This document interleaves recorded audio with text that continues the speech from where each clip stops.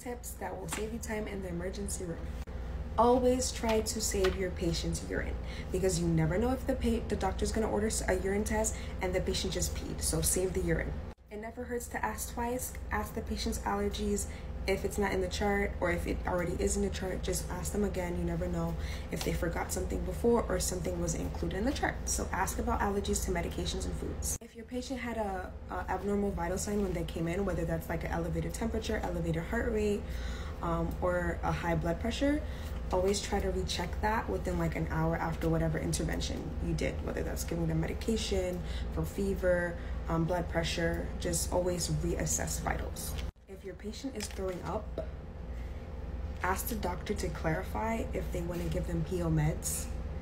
Um, and if they got Zofran, just wait a while before giving them any PO medication or a medication.